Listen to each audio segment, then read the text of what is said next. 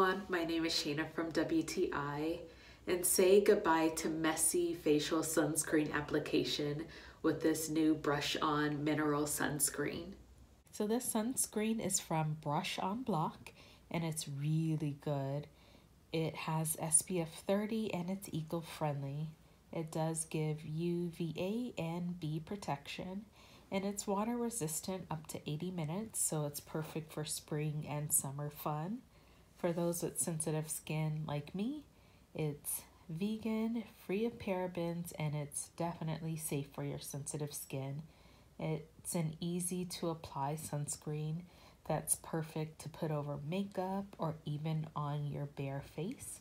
It doesn't alter or give color to it. I really love that it is translucent. You really can't see where you applied it, but you know it's on your face.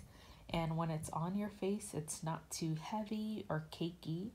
It's super convenient to carry. It will fit in purses, makeup bags, gym bags, etc.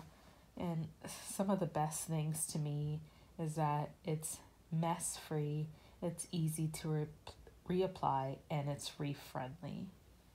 So I'm really happy that this Brush On Mineral Sunscreen is mess free. It's really easy to travel with. I can throw it in my purse and reapply sunscreen as needed.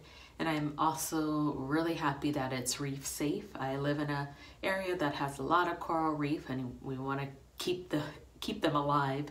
So I'm really happy that I'm able to go into the ocean and keep those coral reefs safe and that's my point of view.